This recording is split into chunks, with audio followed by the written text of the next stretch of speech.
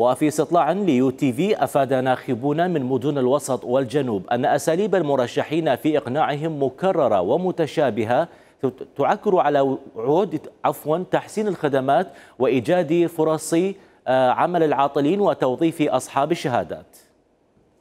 بالتأكيد اليوم المرشحين بدأوا يتجولون داخل شوارع بغداد باعتباري أحد ساكني بغداد. التقيت بأحد المرشحين. المشكلة أنه نفس الأفكار جاي تطرح. الأفكار القديمة إحنا جاي نسمع بالشارع أنه المجرب لا يجرب. ماكو حد طلع بفكرة جديدة. يعني. من ندخل على مواقع التواصل الاجتماعي الحفل الانتخابي لفلان مرشح. ماكو برنامج انتخابي. كل المرشحين الموجودين حاليا يسوون نفس الشيء اللي صار 2018 2014 و2010 وقبلها دي يرجعون مثلا يرتكز على شخصية سياسية أو شخصية أو رجل دين معين ويخلي صورته مجرد بصف صورة بصف صورة. وهو هذا يعني معتمد على هذا الشيء انه الناس بلكت تحب فلان شخصية بلكت تنتخبني. يعني هذا البرنامج الانتخابي الموجود حاليا. صراحة أبد. أي مرشح ما التقيت به ولا قدم برنامج انتخابي ولا ولا شفناهم أصلا حتى هم نزلوا على الساحة.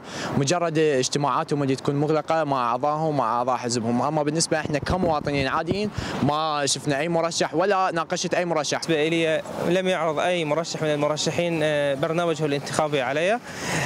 ما نراه في الغالب هو مجرد صور مرشحين دعاية كبوسترات وبها اسم المرشح المرشح ورقمه التسلسلي. نتمنى لو إنه المرشحين الموجودين يعرضون برنامج الانتخابي حتى يعني نعرف أهدافه شنو أهدافه اللي ناوي يسويها بالمستقبل بقبة بقبة البرلمان.